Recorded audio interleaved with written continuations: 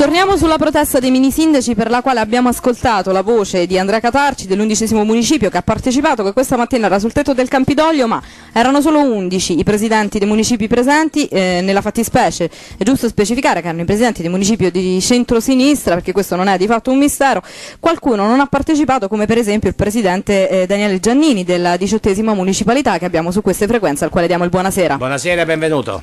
Salve, buonasera a tutti. La prima domanda è perché non ha partecipato?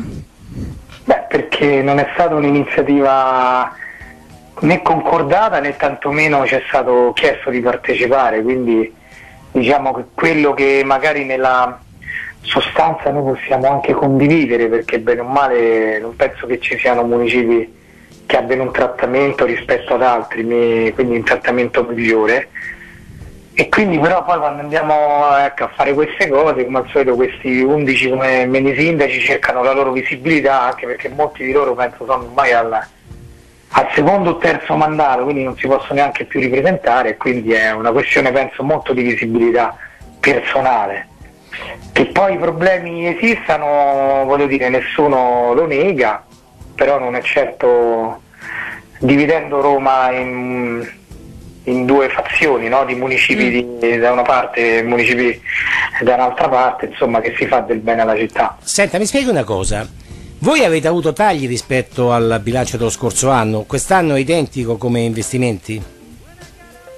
Beh, come piano investimenti noi abbiamo avuto un incremento, ma non perché il comune ci abbia dato maggiori soldi. Il sindaco in una riunione con tutti i presidenti di municipio ha, ha, detto che se noi andiamo a recuperare all'interno delle pieghe dei bilanci municipali del passato dei residui passivi li avremmo potuti riutilizzare sul territorio. Io ora non so se sono stato più bravo o più fortunato, comunque ho trovato tutta una serie di opere finanziate nel 2004, 2005, 2006 che non erano state realizzate o su cui non esistevano neanche progettazioni. Abbiamo recuperato quei fondi che erano fondi comunque ancora rimasti in bilancio e li abbiamo rimodulati su altre opere, quindi abbiamo quasi 4 milioni di euro che diciamo di questi tempi sono veramente tantissimi. È una manna improvvisa? Sì, sì, una manna improvvisa. Senta. Però ci abbiamo lavorato, insomma, abbiamo ricercato con i nostri uffici eh, tutti i bilanci degli anni passati per vedere se c'erano delle opere che poi non erano state questo credo sia un dato comune un po' a tutti i municipi perché poi ci sono stati obiettivamente dei ritardi di, sugli investimenti. Sì, sì, sì. No, per... ma noi l'altro anno penso un po' come tutti i municipi siamo usciti nel bilancio del 2010, sì. ho provato a luglio con zero sul piano investimenti, quindi con la quasi totale impossibilità di realizzare nuove opere e anche di fare delle manutenzioni straordinarie, quindi diciamo il, la situazione è quella che, che sappiamo. È molto grave, però non penso che facendo così insomma, queste operazioni che poi rappresentano solo una parte si fa del bene alla città. Senta, una cosa che interessa ai cittadini, voi come municipio, così come gli altri probabilmente, riuscite a garantire i servizi che erano in atto nello scorso anno? Noi ad oggi sì, non, quello pure è un tema di allarmismo che sicuramente ha dei suoi fondamenti, però non è che può essere usato ogni volta. Cagione di scusa per. Sì, come scusa, di da novembre interromperemo. Noi abbiamo visto che più volte avevamo dei fondi in via di scadenza, poi ci sono stati quando non c'è il bilancio c'è l'assestamento e quindi quando parlano di sociale io ho visto che ogni volta sul sociale da parte del sindaco, dell'assessore Belviso c'è stata sempre attenzione o comunque quando mancavano i soldi alla fine si è si è parato a queste emergenze con, degli, insomma, con dei finanziamenti straordinari, quindi diciamo c'è eh, sicuramente da stare sempre molto attenti, però ho visto che ogni volta, anche se con grande difficoltà, noi e forse all'ultimo momento però siamo riusciti sempre a garantire tutto. Per cui lei presenta un quadro di difficoltà obiettive che stanno soffrendo i comuni, i municipi, parallelamente però afferma che i servizi che erano in atto nel 2010 vengono confermati nel 2011, per cui non ci sono tagli aggiuntivi rispetto allo scorso anno.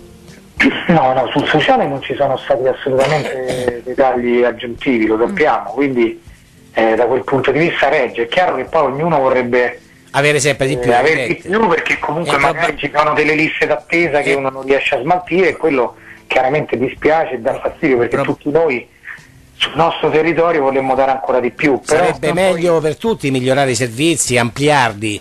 È un'aspirazione tutti legittima di tutti i municipi, voglio dire. È E chiaro questo che- bisogna farlo compatibilmente con le disponibilità che poi arrivano dal centro, anche in relazione praticamente alle ultime vicende e ai tagli. Certo.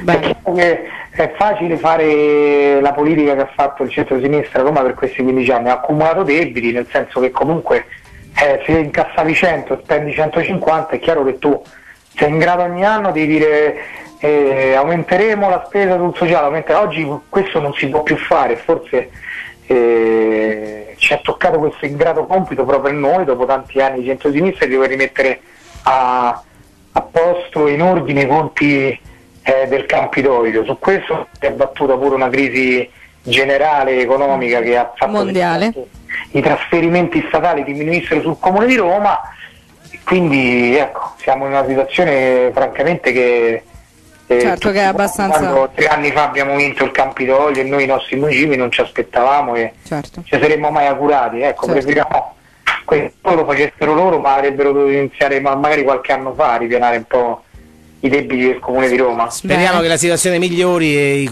e i municipi abbiano disponibilità maggiori per affrontare i servizi cui debbono mh, dare ai cittadini. Noi la ringraziamo molto. Grazie anche a voi. Buonasera. Grazie a Daniele Giannini, presidente della diciottesima municipalità